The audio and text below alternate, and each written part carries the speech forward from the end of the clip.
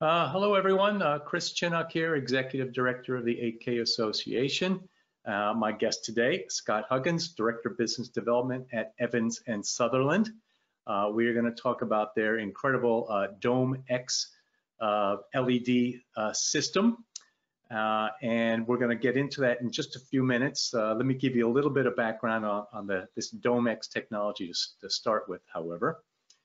so um, first of all, this is the I think the first completed and operational LED-based dome theater uh, in the world. Is that is that correct, uh, Scott? That is, Chris. Thanks. Um, we actually had a very crude demonstration facility uh, set up in China with a partner of ours who helped us develop the uh, LED panel technology. But it was literally mounted uh, between two old buildings in China where uh, visitors had to crawl through literally a window that used to be an exterior window of a building. So demonstrations were not practical, and that's why we've built what we call an experience center, which is a, a demo facility that's meant for visitors and has a, a, functioning 8K LED dome. Yeah, it's it's on paper looks amazing. I haven't seen it yet, but uh, it's it's it's a 20 meter dome. It has 29.5 million uh, LEDs with a horizontal pixel resolution of 8192. Uh, that's essentially 8K. Uh, and that's spread over 180 by 112.5 degree field of view. That's big field of view, obviously.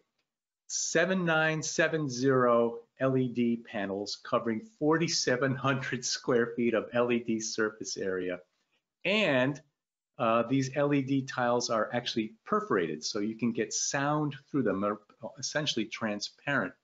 Uh, so very novel technology. Um, so uh, on paper, sounds great. Um, Scott, I know you're very enthusiastic about it. Um, now, in fact, um, you gave a presentation at a recent uh, uh, industry trade show for the Giant Screen Cinema Association. That's right.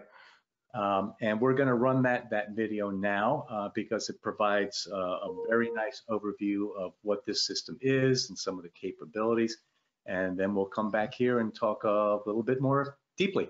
So well, let's turn on the video.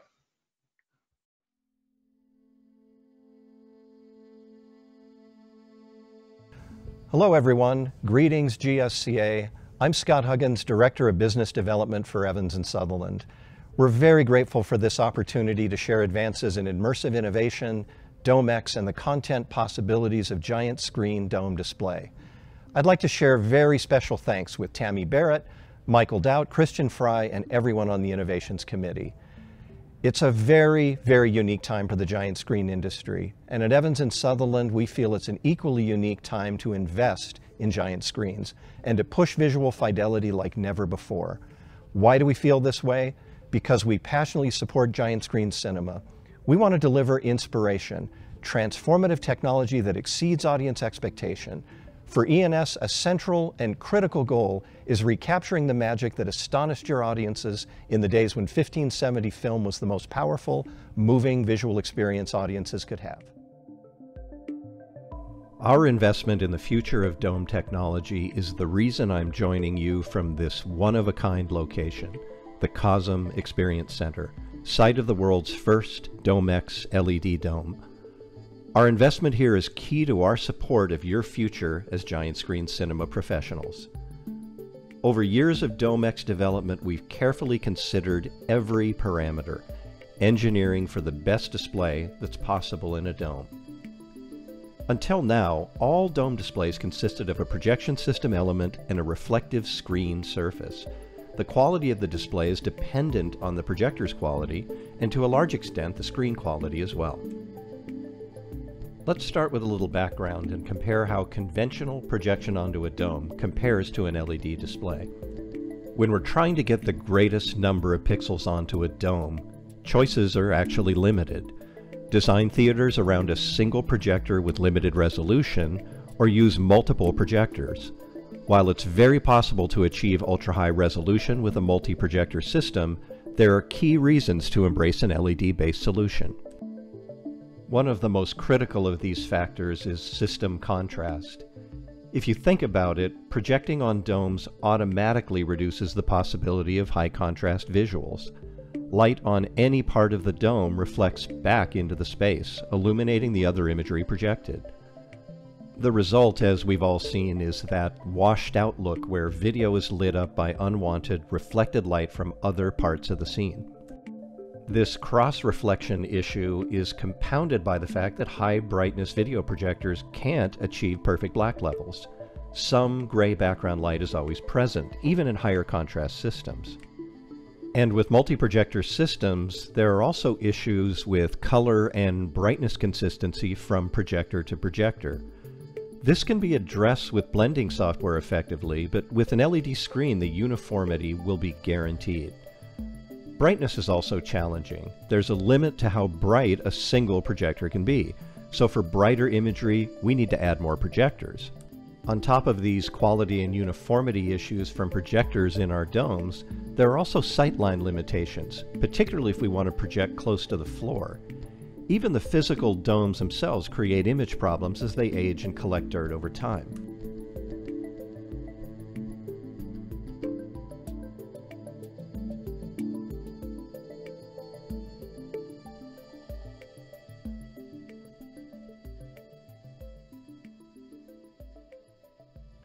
The DomeX LED display addresses all these problems by design, starting with resolution, the 20 meter DomeX dome behind me in the COSM Experience Center has a horizontal resolution of 8192 pixels. The field of view of this demonstration dome is 180 degrees in the horizontal and 112.5 degrees in the vertical. The configuration in the Experience Center is one of the ways we're beginning to think of theaters outside the conventions of standard layouts of giant screen domes. Theater configurations are flexible and can be customized to facilities' needs. Since the projector sightlines are no longer a limitation, hypospheres are possible where the surface extends all the way to the floor. Our DomeX demonstration dome is made up of 29.5 million LEDs over 4,700 square feet of surface. And there are 7,970 individual panels making up the display here.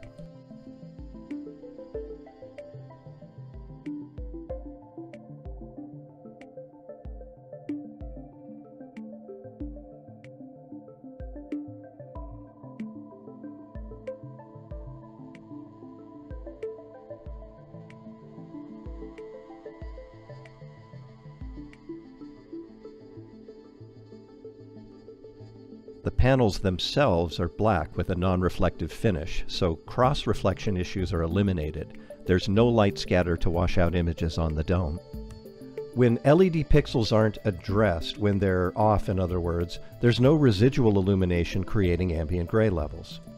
The result is an unprecedented contrast, black in the imagery that appears completely dark, what we've begun to think of as COSM black in the Experience Center, creating a depth and presence to the visuals that can't be achieved with projectors. The brightness of a DomeX LED dome is an astonishing 150 foot Lamberts. In many cases, we'll operate the demonstration dome at a fraction of this brightness. Even at 5% maximum power, we're brighter than almost any projection display on a dome this size. The frame rate of DomeX is 120 frames per second, real-time content can be shown at that full 120 FPS. Stereoscopic 3D is also displayed at 60 frames per eye, allowing for 60 frames per second playback and real-time rendering.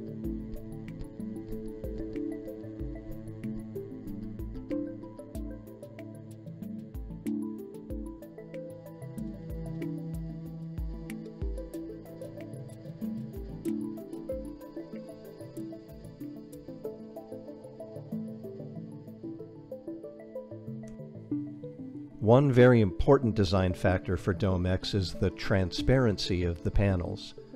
The panels of Spitz's giant screen projection domes are perforated, creating a screen surface that allows audio to pass through. DomeX panels are also perforated so speakers can be mounted in the ideal position behind the dome, giving a sound that originates directly from the image, not below or to the side of the screen. The panels themselves are attached to the frame magnetically, so they're easily removed for service if necessary. A key design consideration for the best possible dome is its structure, a supporting frame that ensures the panels are accurately registered to one another and will maintain proper registration over the lifetime of the dome. Without the right frame, this precise pixel distribution wouldn't be possible. DomeX's structural frame is designed, manufactured and installed by Spitz, the world leader in dome screens. The structure consists of a steel frame that ensures the rigidity of the whole dome, with an aluminum inner frame supporting steel panels for the magnetic attachment of the LED modules. Extremely fine adjustments can be made to the panels as they're being mounted at installation. While the frame, LED modules, and electronics total almost 50,000 pounds, Spitz's structure ensures the panel placement is accurate to 4 one thousandths of an inch over the 4,700 square feet of the dome surface.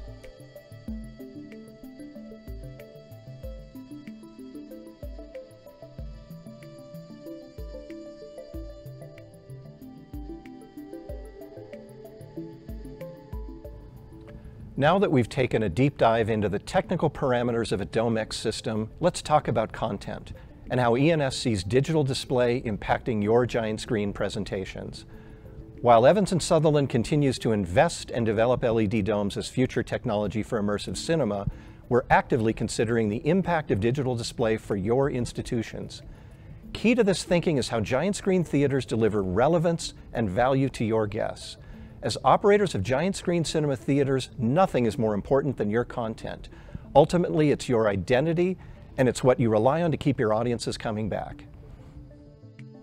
In today's immersive digital theater spaces, there's almost no limit to the content possibilities. There are new emerging opportunities to make your programs more immediate, more local, more diverse, and most important, more relevant to visitors. Our theaters are entering a digital content era where new alternative uses create opportunities for customization and renewed relevance. A core capability of the DomeX system is the real-time rendering engine. DomeX systems incorporate Evans & Sutherland's ESX data simulation platform, capable of rendering the universe and natural phenomenon in spectacular detail. E&S pioneered real-time computer simulation, and we invented the world's first digital planetariums, so science visualization is in our DNA. Theaters need their content platform to be powerful, but also intuitive and easy to learn, so visuals are immediate and right at the operator's fingertips. Theaters can simulate the natural world at the microscopic or macroscopic level. In addition to astronomy and space science, theaters can develop interactive presentations for earth and climate science, biology and life sciences, chemistry, engineering, physics, and more. This creates opportunities to augment the film schedule with live lectures and science-based programs. Popular and widely used software platforms create interactive simulation capabilities that are constantly changing the way theaters approach real-time visualization. With engines like Unity and Unreal, we can immerse audiences in almost any environment imaginable. E&S operators have the tools and the power to create unique programs, multimedia presentations, data visualizations, immersive art, and lessons on a wide range of subjects. Hundreds of E&S theaters worldwide regularly upload programs to the cloud, so thousands of presentations are available for download at the push of a button. Live presentation capability also lets theaters develop custom multimedia for special programs. Operators have access to intuitive tools for sponsor recognition, personalized messages for audiences, live lectures, gala events, virtual performances, and any presentations where special content is needed. In the digital theater, presenters access streaming video from the web and display 360 live action footage easily. As E&S considers the future of digital dome display, we're planning for creative new ways to use the dome and to enable artistic visualization in immersive spaces. The art and performance possibilities are almost limitless. Imagine your theater as a space for virtual art installations, music visualization, live performance under the dome, wellness and meditation sessions, and creative shared spaces where cutting edge visualization takes place regularly.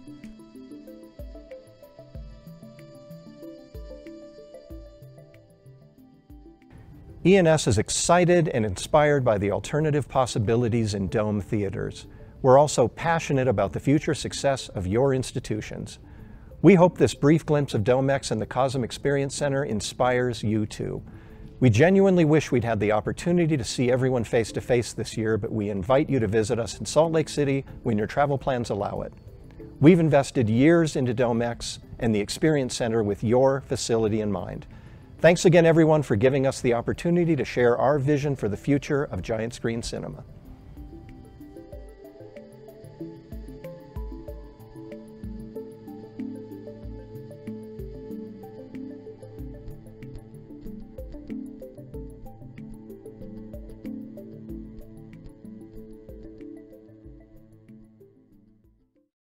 Okay, uh, we are back. I hope you enjoyed that video. Uh, I was very impressed, I know. uh, so first of all, uh, Scott, let's let's talk about um, the organization. Um, you're with Evans and Sutherland. Uh, Evans and Sutherland acquired Spitz some years ago, which was basically a technology developer. and now my understanding is that you have another corporate entity owning both Evans and Sutherland now uh, COSM, C-O-S-M. So tell me a little bit about, about the history of this and the focus of these organizations. Yeah, and I actually began with Spitz Incorporated. We're a planetarium company that was founded in 1947. And Spitz is known worldwide now as the largest uh, manufacturer of domes in the world. We make virtually every dome screen that the public might be aware of in planetariums, in giant screen theaters, and also in theme parks as well. And we were acquired by Evans and Sutherland in 2006. Evans and Sutherland is essentially the inventor of computer graphics. Uh, the first uh, graphic input devices were developed by Evans and Sutherland. They were the first to have CGI in a Hollywood movie. Uh, and they were most importantly for this business, the inventor of the digital planetarium. They invented the first computer-based planetarium in 1982, the Digistar, and now are the most popular providers of video-based digital planetariums in the world. And that technology now involves not only the dome screen and digital projection onto domes, but real-time rendering that's capable of doing data simulation, uh, visualizing the universe at the macro scale, visualizing the microverse at a very small scale. And then, of course, there is a, a complete video playback, immersive video capability built into that that allows us to uh, project and display giant screen cinema content onto domes, science content onto domes. So our primary market with Evans and Sutherland is planetariums and giant screen theaters. And then part three of that story is the fact that we were acquired by COSM uh, a little over a year ago. And COSM is developing immersive technology uh, based around experiences in virtually every other venue and application you can think of. So uh, immersive experiences for uh, artistic presentation, for performances, for live streaming, for sports streaming, for music entertainment. So COSM is sort of the, the part of our organization that's bigger and even more far reaching than our planetarium and giant screen cinema focus. Right, okay, okay. So actually that's almost part of a trend we're starting to see now. So uh, you've got the uh, Illuminarium is another group that's doing these kind of experience centers. Uh, those happen to be projection based. You've got MSG, uh, Madison Square Garden group that's doing these sphere uh, concepts. Um, I believe it's confirmed now for, for Las Vegas and, and London, maybe New York. Um, so just, is there, is there a theme here? Yeah, um, in fact, I I feel like we're seeing a new uh, immersive uh, attraction or experience opening just about every day, and um, we are very interested in where uh, immersive experiences are going, but we're coming at it kind of from the group experience standpoint. Um, you know, we're aware of what can be accomplished with VR and with gaming and with real-time engines And we're looking for ways to make larger scale immersive spaces relevant to audiences in different venues. So we're interested in what the possibilities are for immersive galleries in natural history museums. Can uh, the entire entryway of a museum uh, turn into a curved immersive space? Uh, we're looking at partnerships with art galleries where art is displayed on grand scales.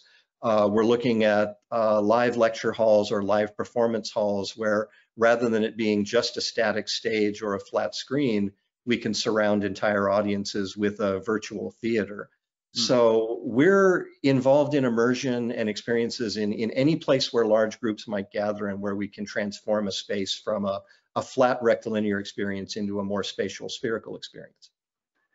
So in, in the cinema space, um, you know, we've we've been talking about alternative content to get into theaters, traditional theaters, you know, like corporate events and and and um, live performances and arts, some of the things you've been talking about. Um, but it hasn't really taken off. So I'm uh, maybe adding this immersive uh, element here, the the the the, the 3D-ness of the dome. Is that maybe the missing ingredient here to make this happen? Yeah, and there's a little background there too. You know, there's been an interesting push-pull between the the goals of an immersive theater like a giant screen cinema venue and the producers, right? If you uh, if your bread and butter is running IMAX films six times a day, then uh, standards and a regular format are exactly what you want, right? You want every film to come to you uh, with the same formatting. You want to be able to run that film through your projector or run it digitally and have the same experience for the audience every time. You want it to be reproducible. Uh, we're looking at museums and giant screen cinema in particular in terms of different use cases. Um, because we started uh, in domes as a planetarium company, then real-time simulation has always been our bread and butter uh, we're able to render the universe in real time. We're able to move from planet to planet or galaxy to galaxy or molecule to molecule. Uh, we're able to three-dimensionally render the human body or the terrain of the Earth. And so we, we live in a digital universe that's literally a real-time digital universe. So what that does is open up all these possibilities for giant screen cinema to make content that's much more unique and localized and relevant to their facility. If their focus is natural history, then uh, there are rendering engines that allow them to render out a photorealistic 3D jungle or a desert or the surface of Mars. But there are also multimedia capabilities that allow museums to recognize their sponsors better, do custom events, gala events, birthday parties, live performances, and so that's where we see uh, Giant Screen going in particular is the ability to not only run the Cannes presentations and the great movies that are being produced, but also to make unique content that's going to be relevant to their visitors and that they can change on the fly. Yeah. Uh, you can accept content from standard game engines, I presume. Unity yeah, both Unity and Unreal are supported, and in particular, we're doing a lot of experiments with environments and modeling in Unreal, and it's incredible what we can do. It sort of democratizes the digital real-time space because not only uh, can we take information and content that's already created from other producers, but with a little bit of training, the operators of the theater or the students in a university can develop their own environments and simulations too.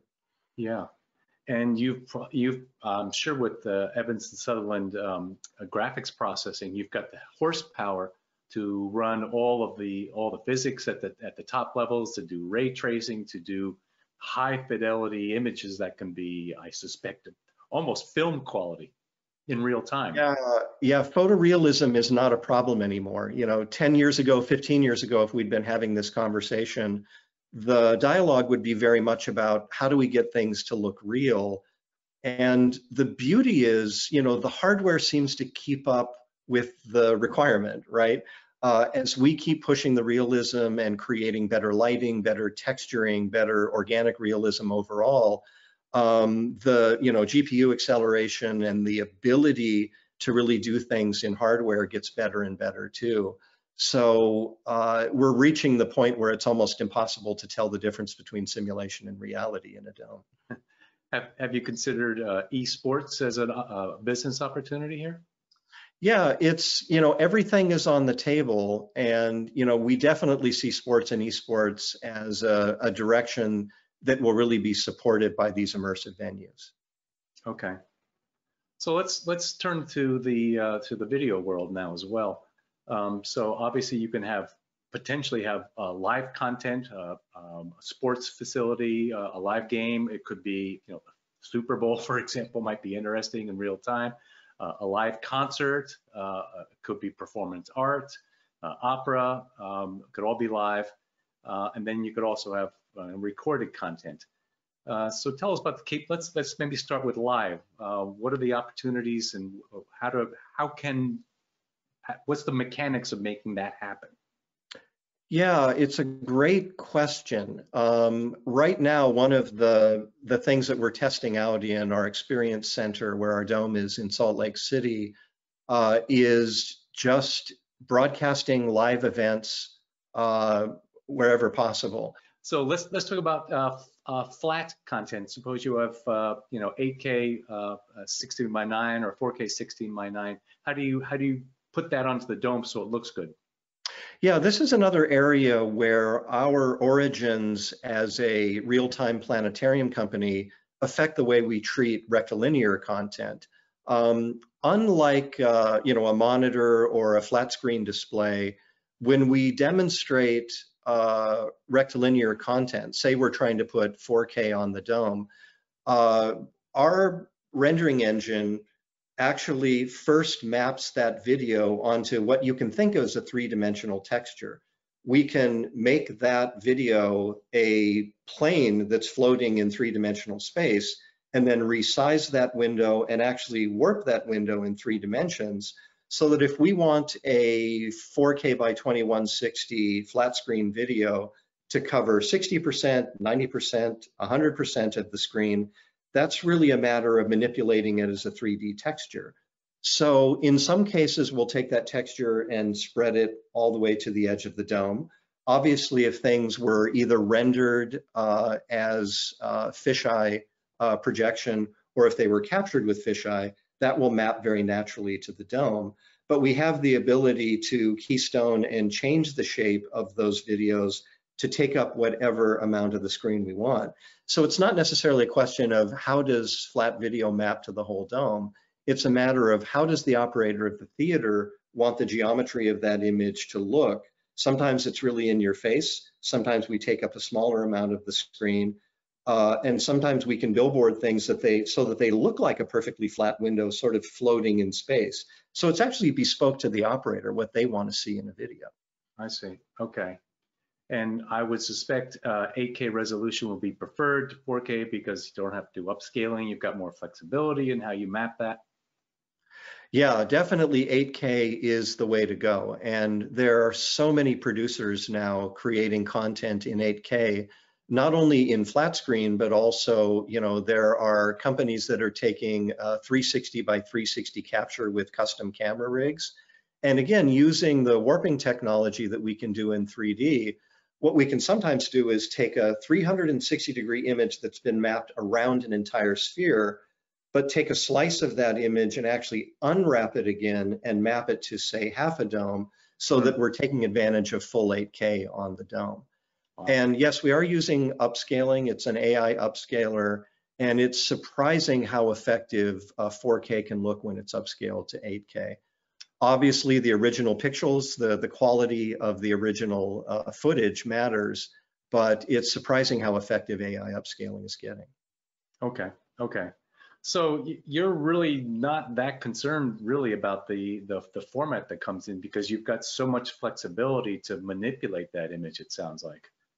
No, in fact, um, there's an interesting uh, quality about the dome that we've installed at our headquarters in Salt Lake City, rather than it being a hemispheric dome that's mounted overhead where the audience is looking up, we've turned that dome 90 degrees and mounted it so that you're looking into a dome that's horizontal.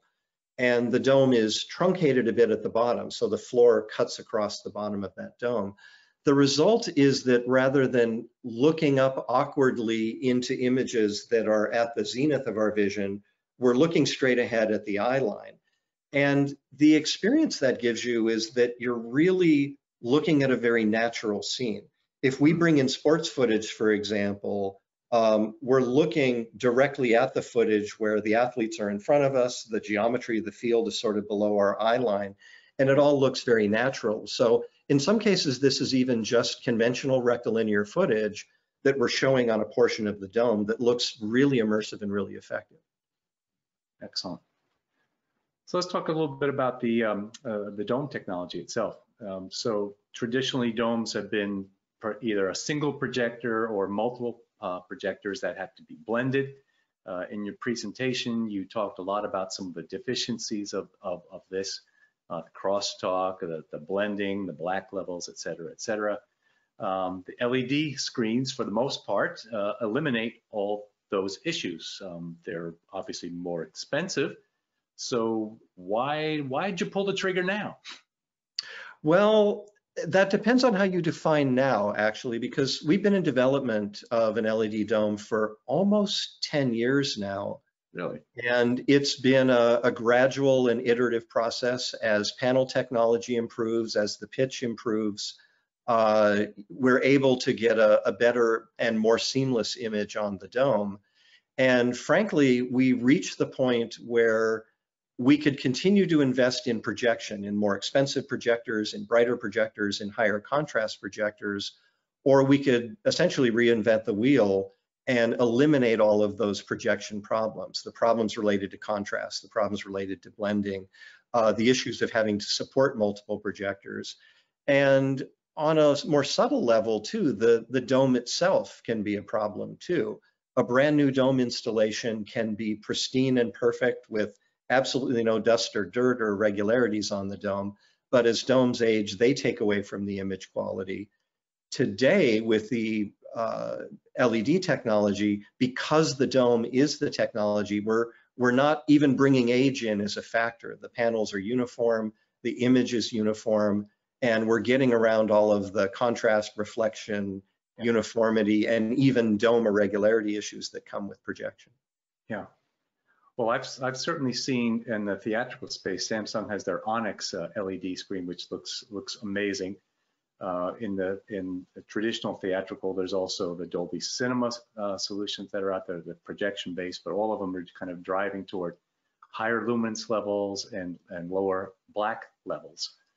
Um, so I think you spec the brightness on your screen is uh, about five 500 nits or so. Um, I think the Onyx screen is typically contents master typically around 300 nits, but it can go to 500.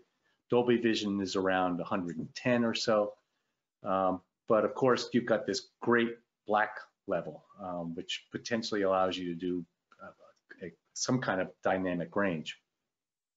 So I don't, I don't think um, the traditional high dynamic range has come to the, the domed theater space yet, but I imagine with this technology, you've got the opportunity to do this. So what's your thinking there? Yeah, we're definitely interested in HDR. Uh, it's just not quite there yet for domes, but there's certainly an effort to do it. So when when we are able to announce, you know, very high dynamic range for a dome, we will definitely let everybody know. You'll be the first to know. the capability is there, but uh, you need to put some some some pieces together. Okay. Exactly. Exactly. Okay. 3D. 3D is supported also in your in your in your dome. Uh, how do you do that? Yeah, it's, you know, as you can imagine with really high frame rates, we're able to do uh, both real time and playback at, at 120 FPS. We're able to alternate uh, pixels uh, at 60 frames a second. So we use mechanical shutter glasses, dynamic glasses that actually uh, shutter uh, separate frames per eye so that you're seeing a true 60 frames in right eye and 60 frames in left eye. So rather than having the issues of polarity or color, we're actually mechanically turning off every other pixel per eye and then displaying one frame view per eye and another frame for eye. So each eye gets real 3D at 60 frames a second. Wow, that's great. Active shutter glasses then, yeah. Correct, yeah. Okay. So have, have you measured the, this, either the stereo contrast or the traditional contrast of your, of your screen yet? Yeah, we have. And, um, you know, there are a couple of things that really uh, punch the contrast in the format. You know, I should say for background, because dome contrast is such a challenge, uh, the reason, as your audience might know, is that when you display any kind of bright imagery onto the surface of a dome, some of that imagery is getting reflected back into the space, right? The dome doesn't absorb the light, it reflects the light back to the eye. So that light is also being reflected onto other parts of the dome. So our typical test for uh, dome contrast is to put up a simple black and white checkerboard, uh, use a light meter to measure the output on the black and then measure the output on the white. And the problem is that the contrast reading that you get is affected by the light that's bouncing off of other parts of the screen. So what's happening when we're measuring uh, contrast on an LED dome is all of that secondary light, all of that light that would reflect back onto the imagery is eliminated for a couple of reasons. First of all, the panels themselves are a flat black material. We've started calling it COSM black because it's uh, not only a dark surface, but it's also a matte surface that doesn't allow any light to reflect. And then when LEDs are in the off state, they're for all intents and purposes perfectly off, right? They're black. So that when we're measuring the difference between a black space and a white space, I wouldn't call it an infinite contrast ratio. That would be uh, arrogant of us to say, but it's almost immeasurable. You're talking about in the millions to one contrast ratio between black space and white space. And I would guess uh, a, a, good projection contrast ratio with the checkerboard is probably in the tens to one, maybe a hundred. In domes, we're lucky if we can say, you know, it's 10 to 1, 20 to 1 or so. Yeah. And all of that, that dome reflection problem just goes away with LED technology. Yeah. So that contrast has got to create um, um, a, almost a 3D like image, right? It's got to get more dimensionality. Yeah, in particular, the dome disappears, right? If you yeah. project anything white on a dome, you're aware that you're projecting on a white or near white space. And in the case of the DomeX dome, you really do feel like you're looking into infinity. And it's wonderful to be able to turn the lights off in a theater, have no graphics on the dome, and then actually just see black. You're not aware that the dome is in the space when you're when you're looking at black video. Yeah, yeah. Wow. Do, do you talk about uh, the pixel pitch that you're using? Yeah, the the number is a little misleading. We're uh, about 2.75, uh, 2.5 to 2.75 pixel pitch. Mm -hmm. and the reason that the spacing is a little greater than you would expect in a high resolution display is that the panels themselves are perforated. We want uh, the dome itself to be neutral to audio. And as you mentioned in your introduction, we can mount speakers behind the dome and then have sound realistically projecting from the imagery because the panels are perforated. And it's also a little bit more forgiving to HVAC systems too. When airflow passes through the dome, uh, you don't have to design the space around you know unusual airflow. You actually let the air pass through the dome. So we open up the pixel distribution a bit to allow the perforation uh, and then we find that eye point resolution is somewhere in the order of about two to three meters away from the dome. If you're standing back from the surface, uh, roughly eight to 10 feet, then the pixel point is pretty near eye point resolution. You no longer see those pixels. Right. Okay. And the, the, the, the, wider, the deeper pixel pitch, the longer pixel pitch would be maybe toward the, the higher parts of the dome or the places of the dome that are further away from the audience. Yeah, exactly. And typically in a dome application, you're not putting an audience right up against the screen. Yeah. The seating or the platform or the floor location uh, will usually be set back so that the audience can take in the full dome. Tell us about your uh, your business model. Uh, what, what do you want to sell? Who do you want to sell to? Boy, it's uh, it's pretty wide open. Uh, as you know, our specialty is giant screen cinemas and planetariums, and of course, we're actively uh, promoting LED domes in those markets. but we're in conversations now with art museums, with uh, specialty museums like natural history. We're talking to artists about doing uh, bespoke entertainment venues that are built around this dome technology. Uh, we're looking into experiences for large audiences that are uh, tailored specifically to live broadcasts. So venues where we might do uh, sporting events at one time, followed by performances at another time, followed by gaming at another time, followed by uh, artistic uh, exhibits at another time. Mm. So we're really asking the world to tell us where we're going as much as, as carving these out uh, to a specific shape for a venue. I think there is uh, an interesting revolution coming and an interesting opportunity for museums and facilities to reinvent themselves it's been a long time since a display medium came along like IMAX, where a facility was able to say, uh, get in your cars, drive to our venue. You're going to see something in display that you've never seen before. Yeah. And I think this may be the first time in decades where the museums uh, that host our planetariums and giant screen theaters can really announce something transformative. They can say to their audiences, if you visit, you're going to see something you've never seen before. And I think the future for museums, not to be cliche about it, seems very bright. Uh, the marketing opportunities, the opportunities for a museum to really reinvent their image and build a venue around something that audiences are going to get excited about and come to see uh, is out there. Uh, we feel like institutions are going to have an opportunity to say, come in, visit us, see something that's going to change the way you think of display. Hmm. Well, that's a hmm. Well, that's a, that's a great point because um, you could certainly argue that the, the, the home TV market has gotten ahead of the theatrical market in terms of image quality, and um, and we need some we need a, a, a draw to get us back out of the house, and maybe domes and LEDs are the draw we need.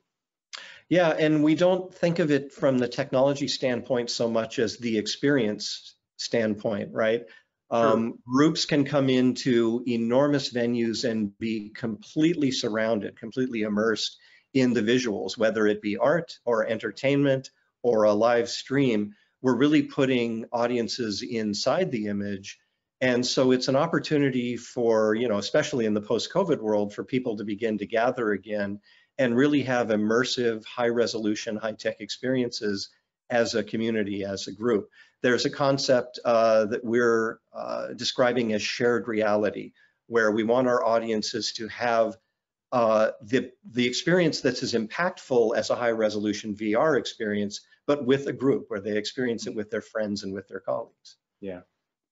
Well, it certainly seems that the uh, we we no longer watch content; we have to experience content, don't we?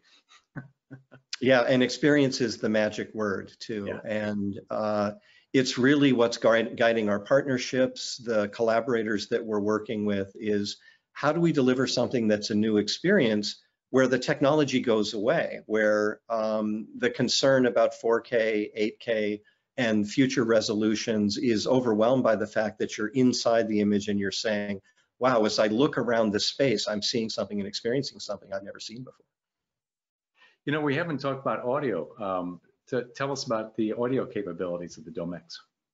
Yeah, you know, in such a vast space, uh, we're able to put a lot of speakers on that structure.